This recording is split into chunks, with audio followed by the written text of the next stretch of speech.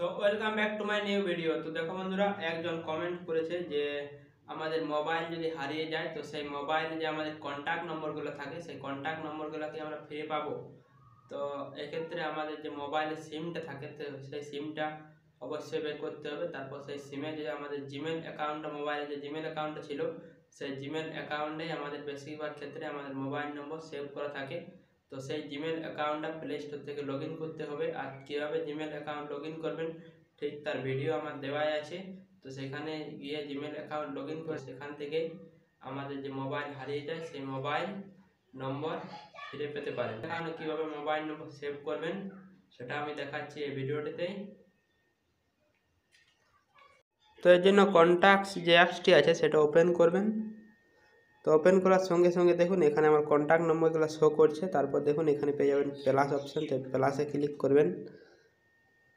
তো প্লাসে ক্লিক করার সঙ্গে সঙ্গে দেখুন, এখানে একটি জিমেল শো করবে।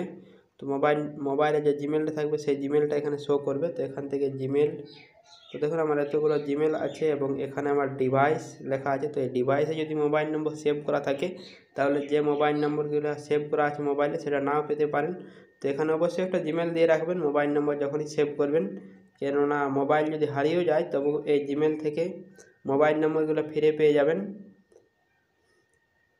তো এখানে একটা জিমেল দেওয়ার পর এখানে মোবাইল নম্বর লিখবেন।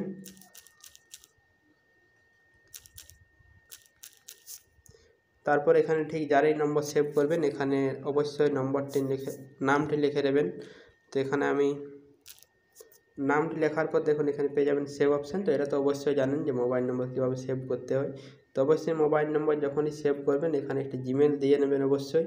তারপর এখান থেকে মোবাইল নম্বর সিলেক্ট করবেন সেভ করবেন। তো এটি করলে মোবাইল যদি হারিয়ে যায়, তো এই জিমেলটা যখনই রিকভারি করবেন, অন্য মোবাইলে তখনই মোবাইলে যাবতীয় কন্ট্যাক্ট নম্বর থাকবে, সব কন্ট্যাক্ট নম্বর ফিরে পেয়ে যাবেন।